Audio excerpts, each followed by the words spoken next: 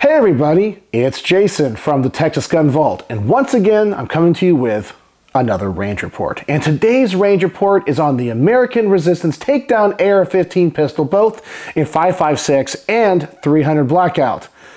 And here it is. You don't believe me? Well, I'm going to have to show you. But first, I want to thank the person that made this video possible, and that is Ken. He's a local subscriber who had this gun. I borrowed a couple of his other guns in the past and reviewed those, and this is something really cool, and he knew it would be right up the Texas Gun Vault's alley. I also want to thank my Patreons, as always, for their monthly support. I am honored and humbled that you think my content is worthy of that support, and if you want to become a patron, there is a link in the description below. As you guys know, YouTube is always always demonetizing us firearms YouTube channels. So all that support really goes a long way in keeping the lights on around here. And as always, I want to thank my sponsor for every single range report, Brownworks. Brownworks is a company that makes a lot of high quality custom one-off grips for a wide variety of different firearms and many different finishes and profiles. I've talked about them many times in the past. I know I've shown you all the great work that he has done, but I know if you're watching this video, you might not have a 1911 that you want wood grips for, but you like modern sporting rifles and modern sporting pistols. Well, Brownworks has something for you too. I've shown this before. He can do laser engraving of Magpul PMags, both for the AR-15 and the AK-47. So if you have some type of custom logo or something that you really want on a PMag, he can do it for you. So besides making some of the best grips in the world, he now can laser engrave and customize modern sporting rifle magazines. So go check out his website. I'm going to put a link in the description below and pin a comment. There's also a discount code down there that you can use to get 10% off of your first purchase. And if there's something on the website that you don't see, email Mark. I guarantee you that he will hook you up. And as always, tell him the Texas Gun Vault sent you. Now, I know you are saying there is no way this is the gun that I was describing, the American Resistance Takedown AR-15 pistol in both 5.56 and 300 Blackout. Well, I got to show you this. And when Ken showed me this, I was absolutely blown away. This is one of the coolest concepts I have ever seen. So let me get everything out of the bag here and we'll put this together and I'll show you what the entire package has to offer. So here we have the receiver. So it's a standard AR-15 receiver that uses the Law Folding Tactical brace and I guess it has the SB Tactical A3 brace on it as well. So that folds out, and obviously you saw it was an extremely small package. But now let's put this barrel section on, and it uses the Cry Havoc system, one of the more popular takedown systems for the AR-15.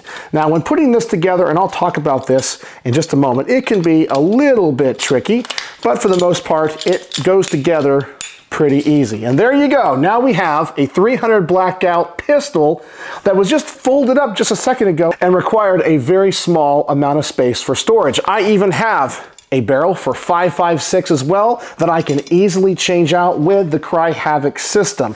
And in the whole package, we had two magazines. Both of these are PMags. One of them is designed for 5.56, the other one 300 blackout, but you can use either cartridge in either, but the Magpul 300 blackout is designed with a little bit different tolerances for the 300 blackout cartridge, which I actually like, I own a few of those, and they seem to work really well.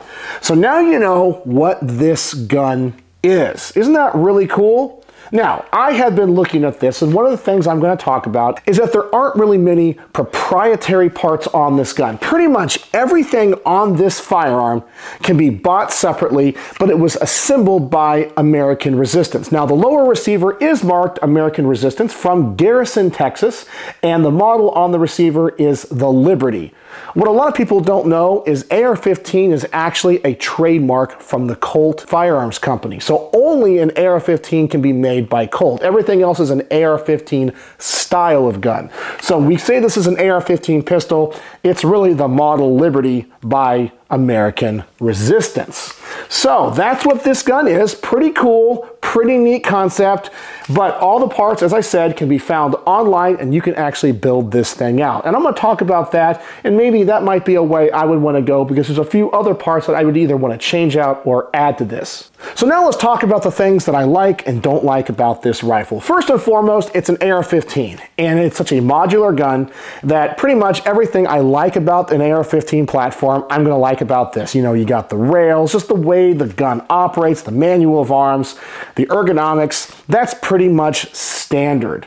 I love, first and foremost, the concept of this a folding gun. So you have a folding stock with a takedown barrel. Now, I know the US Air Force has actually built a survival rifle for their pilots. That's kind of the same. I forgot what exact parts they use on that. I know there's a couple from Midwest Industries, and it has a little bit different takedown system, but it's the same concept. So this gun is designed maybe for hiking, backpacking, and survival, but you get a rifle chambered in an intermediate cartridge in such a small package that obviously can fit in this backpack. The other thing I love about this is the complete kit. I love the presentation of this. This is the American Resistance bag that comes with it.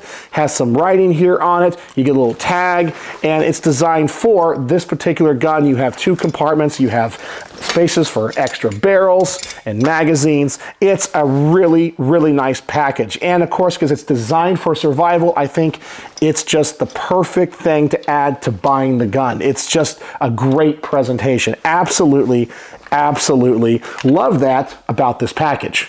So there's only a few things about this gun that I don't like, and it has to do more with the way the gun assembles than anything else. It's not that the parts are bad or I don't like it in concept, it's just a few extra steps you have to take, and if you're not careful, can kind of slow you down. So although this is a takedown AR-15, it truly isn't a quick assemble AR-15. Let's talk about this whole barrel assembly first from Cry Havoc. Now this is pretty much a standardized takedown system for the AR. It's extremely popular and you're gonna pay a lot of money for it, but it's very, very sturdy. Personally, I find this system a little bit hard to use because it has these levers on both sides of the barrel. So pretty much you think, okay, I've taken those off, I'm going to remove the barrel assembly, which by the way, you also have to pull down on the charging handle a little bit because you've got to get the bolt to unlock from the barrel extension. So you think you're going to take it off, right?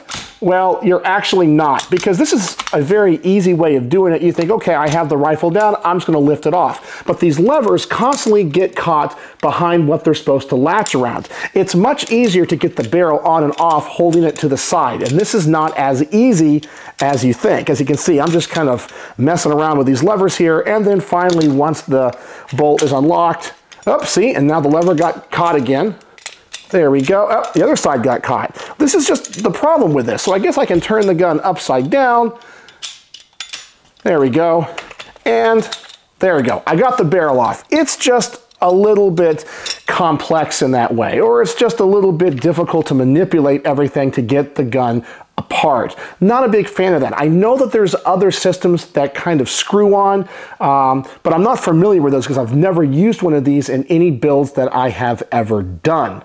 The other thing that I don't like is the Law Tactical Takedown. Because it has a folding feature on the back, there's an extra part here that has to go into the bolt carrier.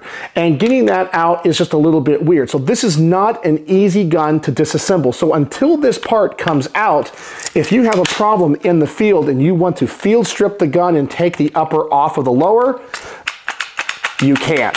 So there's just a bunch of extra steps you have to go through to get this gun apart so you can just do basic maintenance and basic field stripping. So as long as the gun is operating like it should, you won't have any problems whatsoever. But if you need to take it apart for any reason, you might have some issues. So let me see if I can put this back together now. It's much easier to put together than it is to take apart. There we go. So those are my real big complaints. And the last thing I want to talk about is the trigger.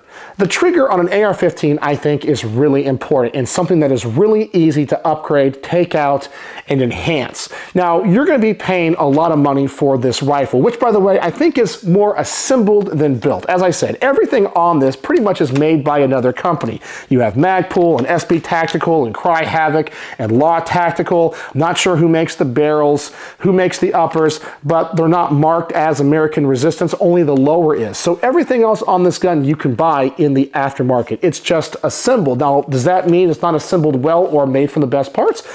Absolutely not. This thing seems to be fantastic, but I think for the price you're paying, which as of me filming this, these are going for around $2,000, I would kind of like to have something better than a mil-spec trigger. But that's something that I can change out myself, and I understand why the mil-spec trigger is in there. I just kind of feel like having that upgrade would be something really nice, especially when the cost is so high and you're getting such a nice presentation and kit to go with it.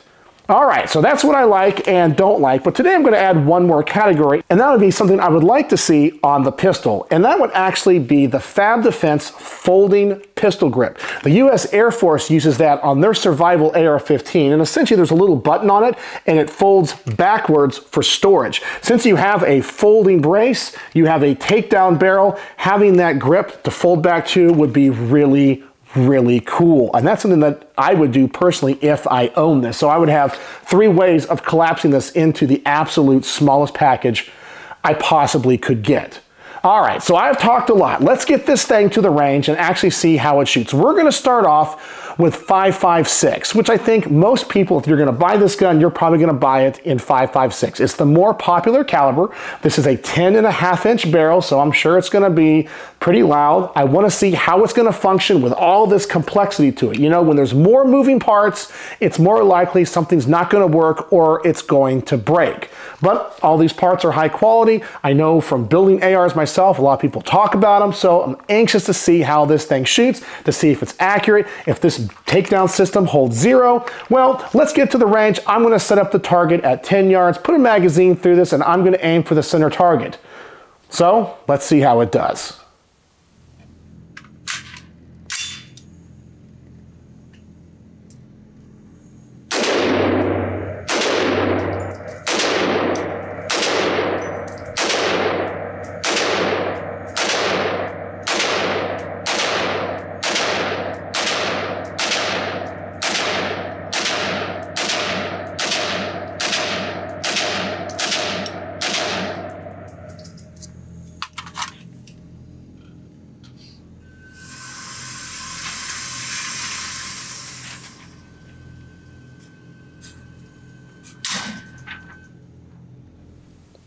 All right, it works like designed. I had absolutely no problems with it, and obviously it is very accurate. So I'm ready to take this thing out to a further distance. There was something that I did notice when shooting, and that is I had some big fireballs coming out of the ejection port. So I think this gun might be a little bit overgassed.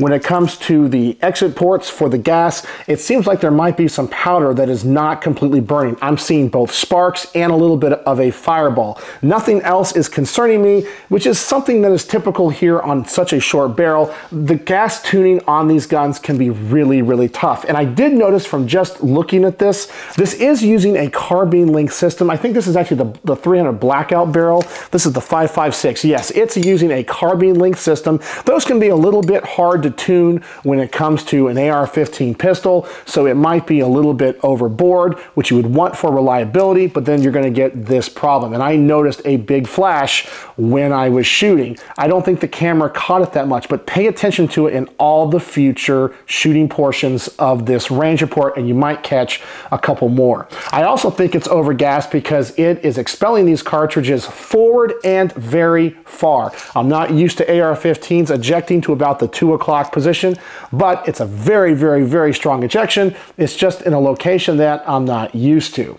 All right, so let's take this thing out to a further distance. Now I know it's accurate. Now I know it's zeroed. Let's shoot this thing at 25 yards. I'm gonna go for the top two targets. I'm gonna kind of alternate between the two and see if this thing can still hold zero at further distances.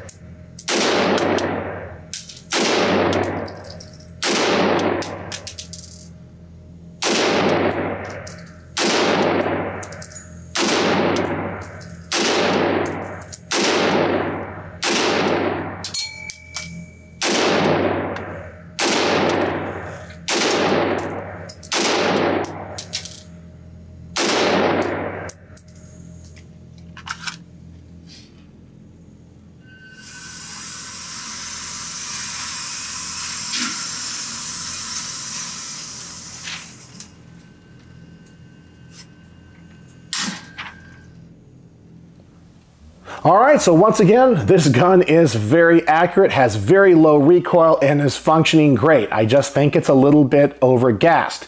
I'm gonna try to capture some of these flashes on camera. So I'm gonna set the camera out on a tripod. It's a little bit darker further down range. I'm gonna face the camera and shoot by it and see if I can catch anything. And I'm gonna shoot kind of fast. I'm kind of curious because this mil-spec trigger now is actually feeling pretty darn good. It's definitely not a Geissele, but I think I can shoot it fast. So let's see how I do.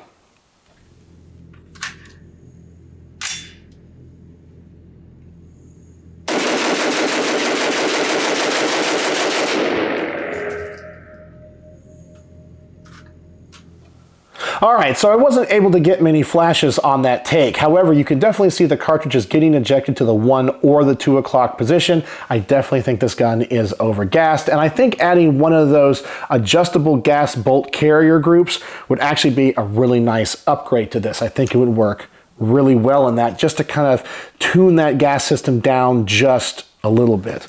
All right, well, I want to give my wife a chance to shoot this. As always, she loves to shoot every gun that comes through the Texas Gun Vault, and this is no exception, and she loves AR-15. So I just want to put it in her hands, have her shoot it, and see what she thinks.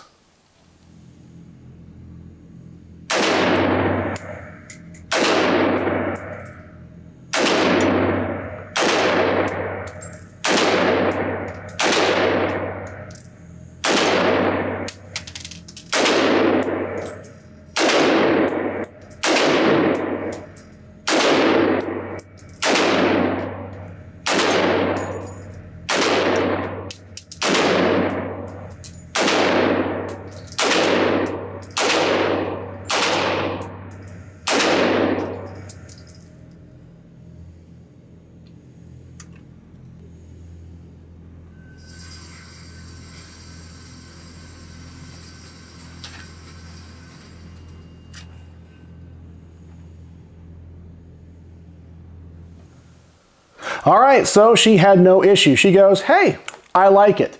But she didn't really geek out on it as much as I do. I really think it is such a cool concept. For her, it's just another AR-15. For me, it's like, wow, that is definitely something different and I like it. Shot well for her. She shot it accurate, had no problems whatsoever. She liked how small it was as well. You know, she's a lot shorter than I am, and I think it fit her body type a lot better. She just likes the smaller rifles. That's why she loves shooting my short barrel rifles so much. She just likes them to be a little bit more compact. Plus, she's cross-eye dominant, and when she holds these things, she has to kind of hold them at an angle so she can use her left eye with the optic. But she had no problem doing any of that. It was a comfortable gun for her to shoot.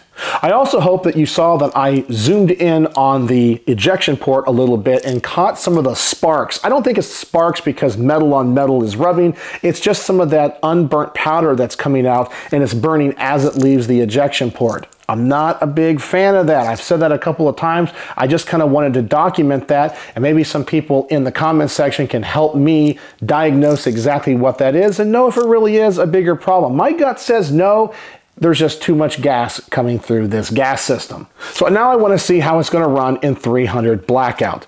So now I'm going to change the barrel assembly. So I'll take that magazine out and once again pull those levers down. Got to hold it to the side here or upside down. Get those levers off. Pull the bolt carrier back just a little bit to unlock it and then it should come off. And there we go again. Those levers caught. All right, there we go. See, it's just a little bit more complex than what I would want. And then we're gonna put on the other upper. It's just not as intuitive as I would want it to be. But there we go. All right, so we've now changed the barrel assembly, and now we're gonna shoot this thing in 300 blackout. I'm very curious to see if this Cry Havoc system can hold zero because the optic is mounted on the upper, and the barrel assembly is a completely separate part. So does it mate up right? Is it gonna hold that zero? Well, let's find out and also see how this gun handles 300 blackout. I'm hoping it's gonna run a little bit better simply because 300 blackout is designed for shorter barrels. 300 blackout.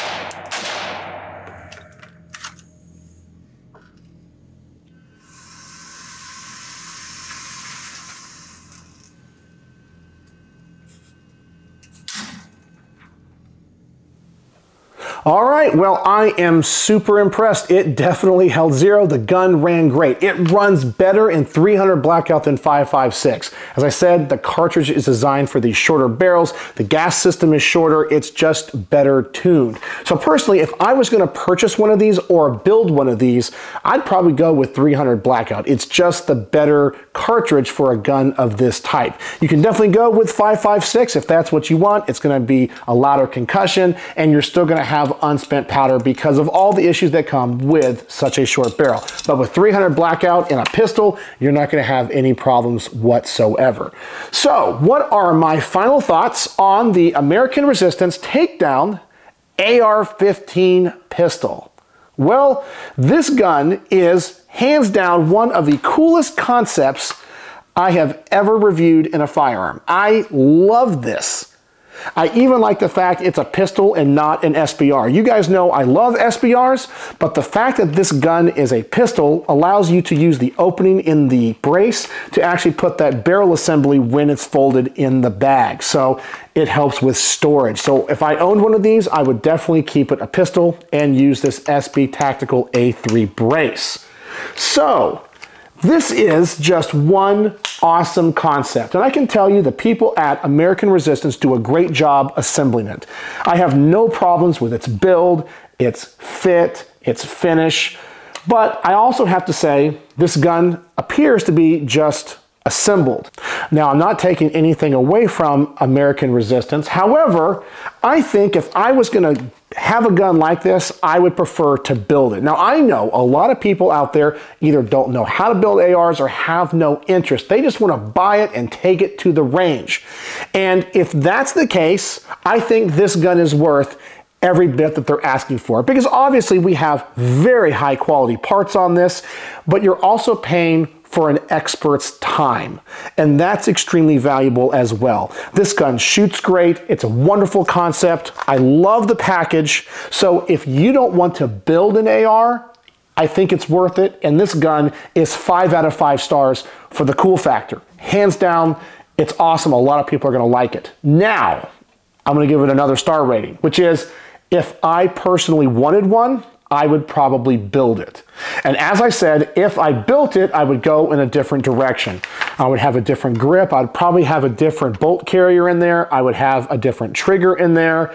And I would have to just deal with the systems like the law folding tactical. I said I don't like the takedown of it and I don't like how the levers on this Cry Havoc barrel system work. So I have to deduct a few points. So if I built this gun, I would still like it. I would only give it four and a half stars, but I would save a lot of money. I think you can build this gun a lot cheaper than you can buy it. But as I said, if you don't care about building or don't have the knowledge or the desire to do so, I think it's worth every bit because you're paying for someone's time and their expertise. But I would love to build this gun. That would be really cool. One of the projects I've always wanted to do is to clone out that new Air Force survival rifle, and who knows, maybe I'll do that. And it uses a few different systems than this one does, and that might be a direction that I go. But making an AR-15 takedown rifle is something I am definitely interested in. But the thing I do like, as compared to the stock, as I mentioned, is the fact with the brace, because you can put that barrel assembly through it. I like that. So if I ever made one of these survival AR-15s, I would definitely go in that direction, and that's an option that I absolutely love. So there you go. That is my thoughts and opinions on the American Resistance Takedown AR-15 in both 5.56, 300 blackout, if you are buying it, I believe it is worth it, and it's five out of five stars. If I was building it, I would only give myself four and a half stars out of five, just because it doesn't have all the options that I want and I don't like how some of the mechanisms work on the takedown. So I'm not sure if that makes sense to anybody, kind of going at it from two different approaches, but this gun is more assembled when you buy it than it is built. There doesn't really seem to be anything on this gun that is proprietary. It really does seem like this company bought the parts from other sources and just assembled it. They designed the concept, they said, I want to use this, this, this, this, and this, and have these options, and they just build it from other parts.